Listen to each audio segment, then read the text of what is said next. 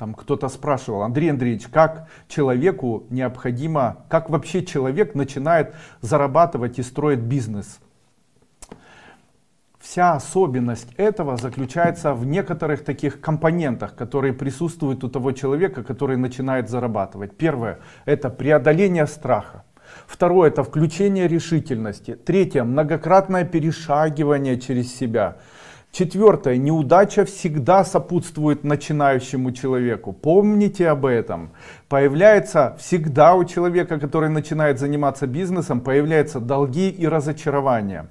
И после этого вновь появляется идея, и человек пробует еще раз. Видите ли, что тот человек, который начинает задумываться о том, что он собирается заниматься бизнесом, он должен преодолеть 6 вот этих компонентов его становления. Преодоление своих страхов, включение своей решительности, многократное перешагивание через свою лень, а, не перегружать на кого-либо свои обязанности. Неудача всегда сопутствует начинающему, поэтому никто, начиная бизнес не будет, ни, ни одному человеку не будет сопутствовать удача. Почему?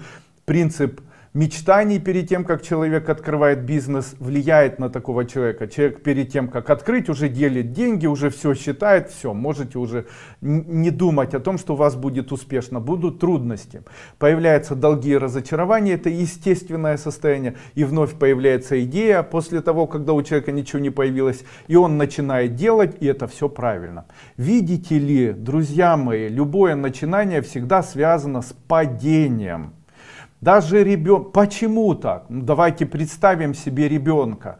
Даже ребенок, который только начинает ходить, он падает.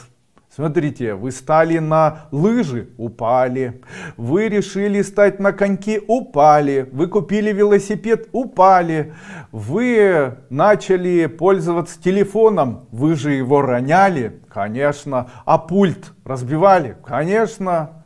А когда там начинали готовить еду, она получалась невкусной. Конечно, не напрасно говорят первый блин комом.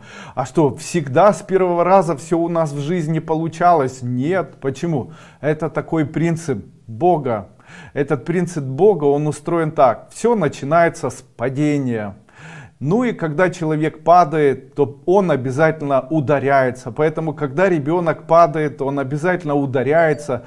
Так же и с нашим бизнесом. Вы понимаете, когда человек, допустим, хочет идти в гору, то гора это прообраз построения бизнеса.